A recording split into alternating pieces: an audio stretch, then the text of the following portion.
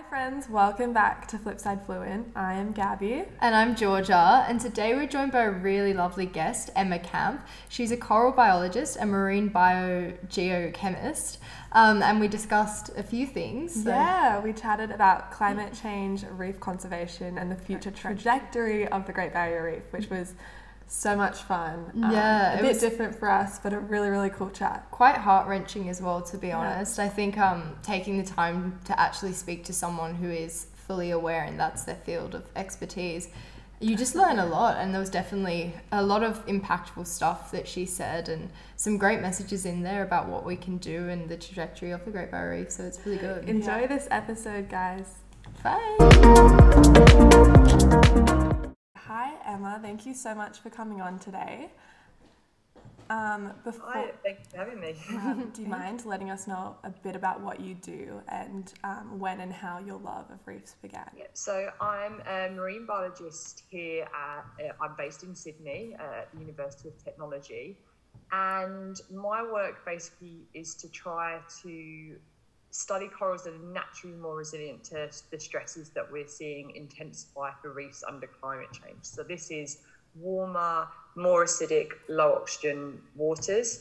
And unfortunately, they're the stresses that are intensifying under climate change and our kind of traditional management of reefs, so things like marine parks, although very important, have never been set up to kind of try and help corals in the face of climate change. And um, whilst we obviously really, really need to address, um, you know, the fossil fuel um, reliance globally, it's not happening quickly enough for coral reefs. And so we now know that um, reefs globally are going to struggle to survive into the future unless we um, aid them. And so my work is to see, well, if we look at corals that are naturally tougher to stress, can they provide us some of the answers we need to kind of help um, the reefs?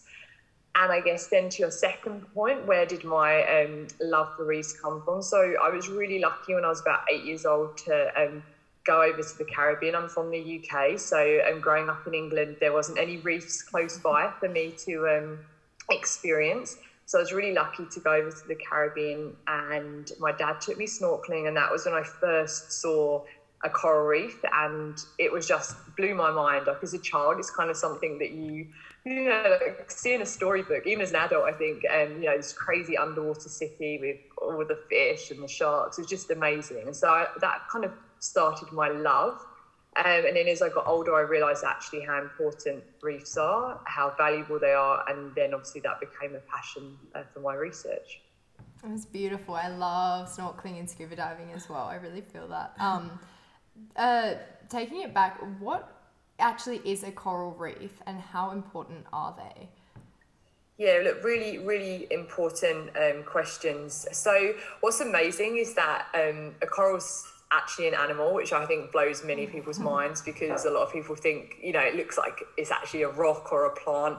And if you think it's a plant, you're not entirely wrong either. So, what's really cool that corals are called a, a holobiont, which basically means whole biology. And the reason for that is that it's an animal um, polyp.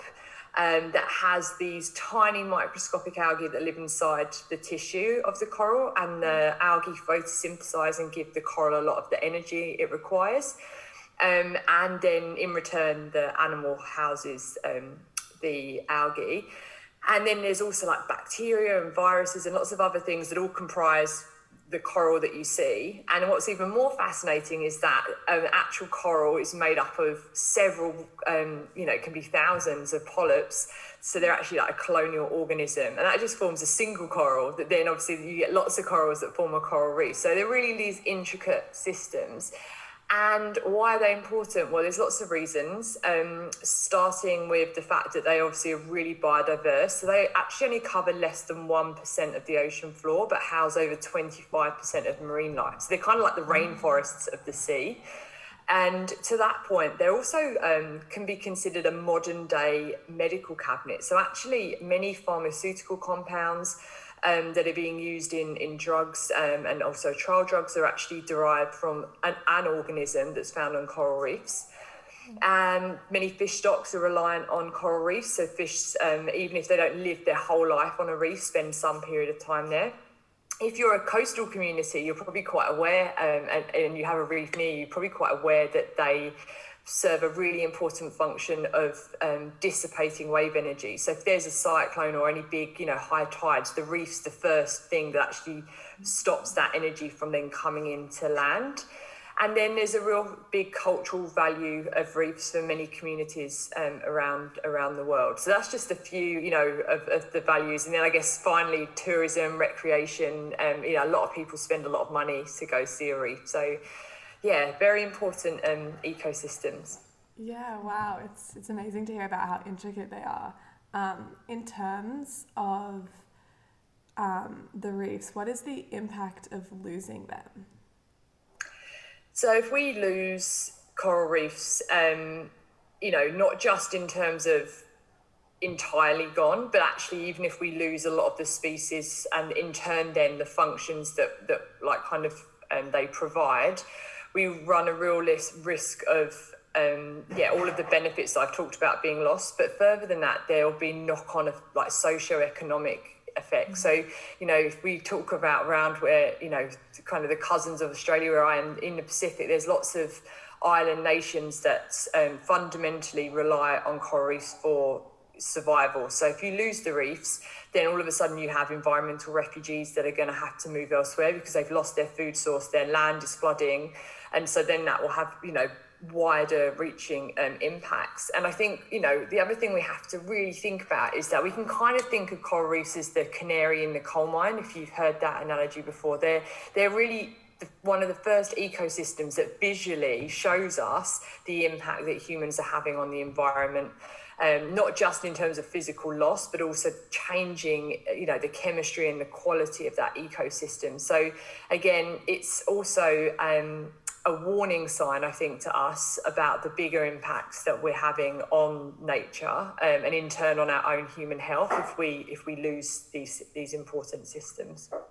Definitely, mm. it's it's a really scary thought to see the current trajectory of the Great Barrier Reef. Um, how has your work um, with finding corals in like unexpected places, such as mangrove mangrove lagoons and stuff like that, changed the way that you see the future of the Great Barrier Reef? So I would say that it gives me some cautioned um, hope, and I I say cautioned hope because, like, just to put it out there, you know, we fundamentally, if we don't deal with our reliance on on you know the fossil fuels and on climate, you know, addressing climate change then I really fear for the long term hope of the reef. But in saying that, what my work and you know is showing is that there are corals capable of living in very tough conditions, more extreme than we're predicting over the next kind of couple of hundred years under climate change. But when we look at the corals that I found, we see that there's a lot less biodiversity. We see that they're a lot mm. smaller. And so, kind of, that's why it's a caution hope, because if we think about those functions that I described earlier about why reefs are so important, we need obviously big accreting, which basically means big, you know, kind of built up structures to, to break that wave energy, for example. So obviously if we're getting smaller colonies, can they then actually act and, and provide those services that we need? It's not as much home for the fish life, etc., etc. So the work that I'm doing is providing me some hope that there will be the capacity for some corals to survive into the future, but without addressing, you know, climate change, I worry that um, it will be an unrecognizable reef. Mm. Um, wow. Yeah, it's crazy. Um, with bleached corals, are they once they've been bleached, are they permanently lost, or can they rejuvenate, or? Yeah, this is a really good a good question. Um, so actually, when a coral's bleached, it's not dead at that point in time. So if we go back to what a coral is, it's got those microalgae within its tissue. When there's a stress event, and typically it's warmer waters, the algae actually um, are expelled from the coral because they actually become toxic under extreme stress, mm-hmm. and that basically loss of, of the algae is also the loss of primary colour that you see with corals. And so then you see the white skeleton underneath the coral tissue, hence why we say the coral is bleached. Mm-hmm. Now, if that stress event then is short lived, the coral's still alive, it can actually re- reacquire the microalgae and recover from that bleaching event. But unfortunately, what we're seeing is that often the stress event lasts for such a long time that the coral then um, unfortunately transitions to, to mortality. Now, in saying that, if there is long enough um, periods of time between these big stress events, so kind of we're talking like decades or more, then we know that reefs can recover even if there's a really severe impact. But what's scary is that we're actually seeing these stress events occurring sometimes back to back years. So, the Great Barrier Reef, we've seen three bleaching events in the last five years. This is unprecedented. We haven't documented anything like this before. And that's just compromising the resilience of the reef to deal with stress because you're eroding the number of corals and the diversity of corals and basically the ability of, of the system to bounce back from stress. Wow, yeah. You've mentioned global warming quite a bit. Um, yes. I'd love to know what are the biggest factors influencing the well-being of the reefs and um, kind of off the back of that, what has been done and what else needs to be done? Yeah, look, great question. So, um, you know, the, the, reef, I guess, has got a lot of pressures on it. Um, the biggest one um, is the stresses of climate change. And it actually, UNESCO just released um, a report a couple of days ago saying that, um, you know, the status of the Great Barrier Reef, for example, is now at critical levels.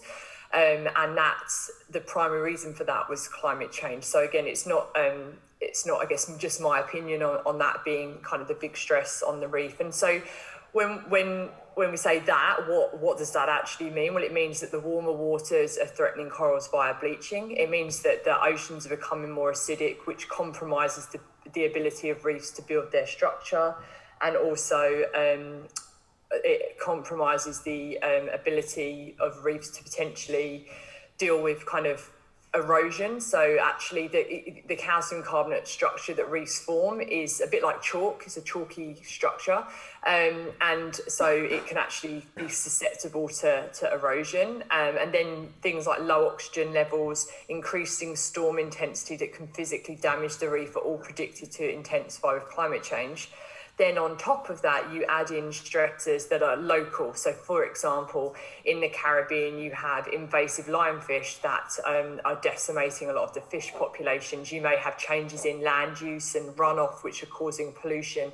So, there's depending kind of on where the reef is based, there are different local stresses, and then obviously the impacts of climate change are being felt by reefs um, globally. And then I guess to your second point, what's being done?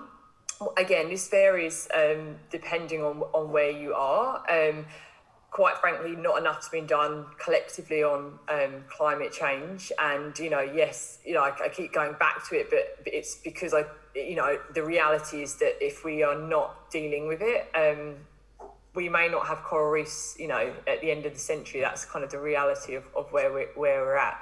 Um, but you know, in saying that, I I am, am actually, and um, people maybe after hearing me speak may be surprised, but I am an ocean optimist, despite you know, um, despite the negativity I may sometimes convey. And the reason for that is that we still have um, amazing coral reefs globally, and the reason for that is because they've been well managed uh, on a local level with things like marine protected areas. Um, if we take the Great Barrier Reef, where I'm, you know, kind of um, spend most of my time now is um, we're now at a point where we need like a toolbox approach to managing the reef. So if you think about, you know, if you spring a leak in your house, a wrench may be the best tool that you have to deal with that. For us, having um, addressing climate change is that. But if obviously you don't have that wrench, you don't just let it keep pouring water over your floor. You then say, okay, well, I've got this smaller spanner and I've got some duct tape and I've got a screwdriver, and you kind of try all of those other things, right, to stop the leak or to buy you time. That's exactly what we're doing with the science now. So it's saying what other actions do we have that can buy us time to get you know policy to where it needs to be? So that's things like restoration activities. Can we grow corals up and replant them on the reef to try and build the natural resilience? Can we look at things like assisted evolution? So can we actually kind of manipulate corals in a lab um, and if necessary replant them to try and boost um, their abundance uh, things like there's actually chemicals that are being used to try to kind of a chemical sunscreen, if you like, to try to, during a bleaching event, reduce light intensity, which can antagonize the stress. So there's lots of things being trialed here.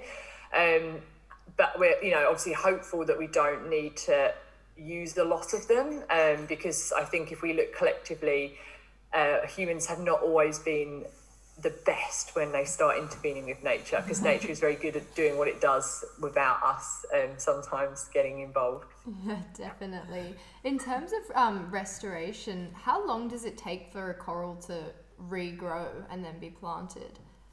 So this is what's really cool about corals. So if you imagine like you've got a plant and you take a, a clipping of that plant, so genetically it's exactly the same, in, and then you just you know repot it um, it grows, you know, depending on the plant, surprisingly quickly. And corals are exactly the same. So if we take, um, you know, a, a fast growing species, so they're like your branching corals, tend to be the, the fastest growers.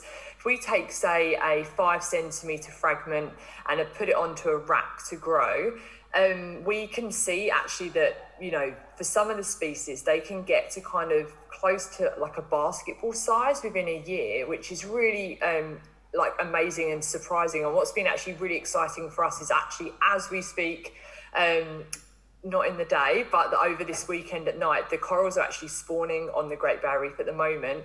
And in one of our coral nurseries that we have on the Great Barrier Reef, we've um, taken some small kind of fragments off the end of some of the colonies, and we can see that they've actually got eggs um, in them uh, in our nursery. So we know that within kind of a year, some of those that we've put on there have not only grown large, but they've grown to a capacity where they can then reproduce. And that's really the ultimate goal of restoration is that you've got corals that are self-sustaining.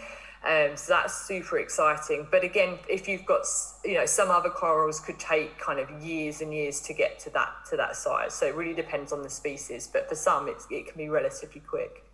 Yeah, wow. I have a, a question that I don't know if it's true or false. So I feel like you would be able to answer this one. Is it true that if you touch a coral, it dies? So it's definitely not true that if you touch it dies, but um, but I like that because we should just tell everybody that because then they won't be uh, you know um, wanting to touch it. So that would be great.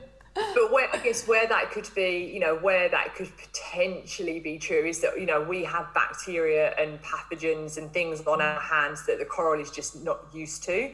So mm-hmm. if you touch a coral, you could basically be introducing some germs that they're not um, able to survive and to tolerate. So again, it's always you know it's always a good idea like don't touch coral. Definitely not advocating it, but it, but yeah, it's it's very unlikely it would die unless you've got some crazy thing going on with your hands. yeah. So so other than not touching coral, how can we conserve the reef? So you know this is what's amazing is is that we even if we're nowhere near a reef, we've all got the capacity to kind of contribute to its long term future by looking at actions that are going to reduce our impacts on the climate and on the environment. So, you know, if we think about the fact that we make thousands of decisions every day, all of those decisions are directly impacting uh, impacting nature. So, if we can you know, and a lot of people have probably heard a lot of these things, but um, you know, reduce the amount of times you know you use your card, you know, eating less meat, being more sustainable with your clothing. All of those things have a direct impact on the environment and on the reef because it's reducing, you know, the kind of climatic pressures that they're facing. Um, I also, you know, really encourage people um, to use their votes um, wisely, especially the younger generation. That we're we're the we're the generation that are going to be inheriting the planet that is left to us. Um, and so, you know, we want to ensure that that's the highest quality that it can be.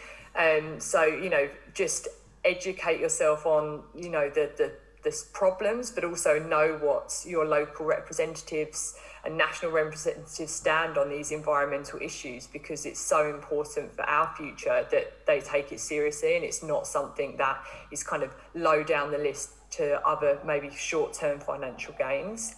Um, and then also, I guess, the more kind of hands on is that if people, you know, want to get involved in volunteer projects or, you know, actually go and experience the reef and kind of speak to you know local researchers or conservation groups that often have opportunities for people then again that's another way if you're lucky enough to live near a reef um, i'm sure people would love um, any involvement that that people might want to bring.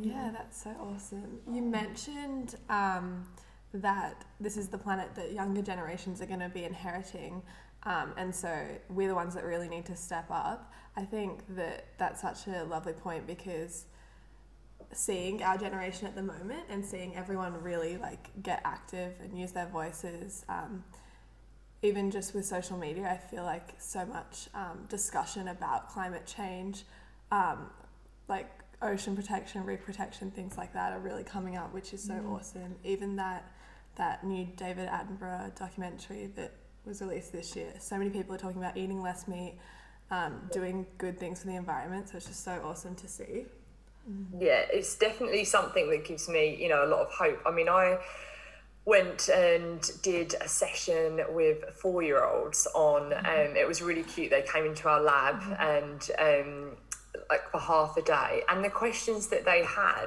just blew me away, and they were so aware of their impacts on the environment. I, like so much more so than I was at that age.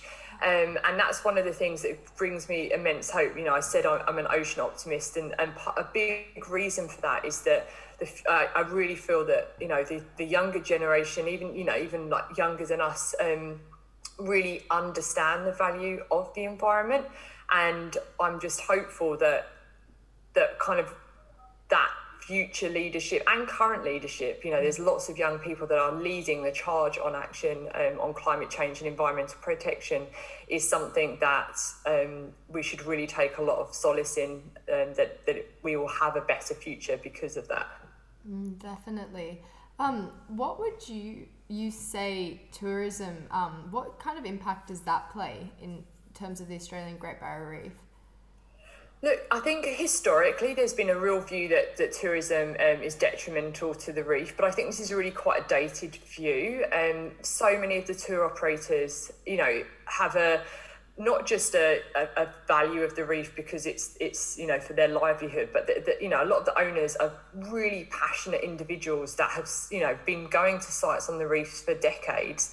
So they are really you know some of the biggest advocates for the reef's conservation. Um, you know, obviously there's variation between operators that go out there, but there are some operators, like one of the ones we work with, Wavelength Reef Cruises, and they, you know, they now um, give, you know, they offset their, you know, carbon emissions to get out to the reef. They're active in restoration activities, as are many of the other operators now. Um, so, you know, they're really um, minimizing the direct impact that they're having on the reef. And I and I really feel that if people have the opportunity to get out and see the reef, they can understand like the fragility, but uh, you know, amazing biodiversity and beauty of the reef, and this can in turn help them to ultimately um, value, fall in love, and hopefully then want to conserve it. Mm, definitely. Yeah. For many people working and volunteering with different reefs, what does kind of like a day in that conservation look like? Yeah, so look, it can, you know, I guess really depend on on where where you are, but often, um, you know, if you're out on the reef physically, then often it's going to involve diving and snorkeling, probably some sort of surveying, so actually to get an idea of what the status of the reef is. So looking at health checks, or is there any bleached or pale colonies? And um, what's the diversity of reefs? Maybe some fish surveys. Then if there's actually active restoration going on, it's often to kind of collect some uh, stocks for the parent, you know, initial colonies, and then put putting them maybe onto frames or however they're being grown, um, and then surveying any colonies that are in like a nursery setup. And ultimately, the ultimate goal would be to then put those back onto a reef. So maybe collecting some from the frames and putting them out. If there's science experiments going on, there may be um, sample collection to then go back onto a boat to um, store them for analysis. So this can be either freezing them or putting them in buffers and then you know for individuals like myself then that's kind of the that's the fun part that everyone hears about. Then the reality is going back to a lab doing things like taking you know doing dna extractions and working on the physiology um, lots of data analysis, data writing, report writing to basically ensure that the information that's being collected is then actually translated into um, meaningful science um, and action that you know people can um, learn about and hopefully politicians can act upon the findings. Mm, yeah, wow. Um, sorry. no. um, yeah, wow. It's so interesting to hear the actual specifics of all of that. What would your one call to action be for young people um, who are interested in making change?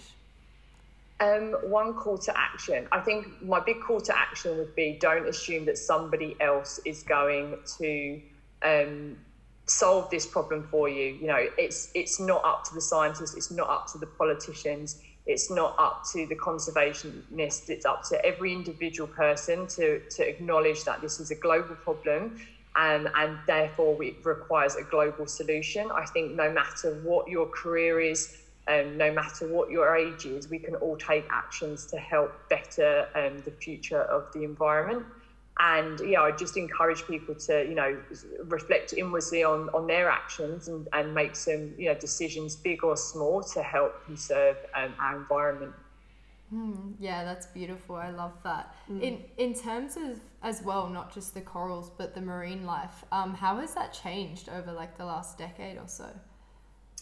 Yeah, so look, if we look at the Great Barrier Reef, we know from the mid 1990s, so the last three decades, we've lost 50% of live coral cover on the reef. Um, if we say then move to the last, you know, decade, that's where we've seen, you know, about 30% of that 50% be lost. Um, and with that then comes, you know, we know that the associated fish stocks and things like that are being, you know, eroded down. And even in the open ocean, we know that global fish stocks are declining. And um, this comes from the tragedy of the commons, where you know it's common ownership, and actually trying to kind of manage um, the ocean is very tricky because um, there's a lot of shared waters and things like that.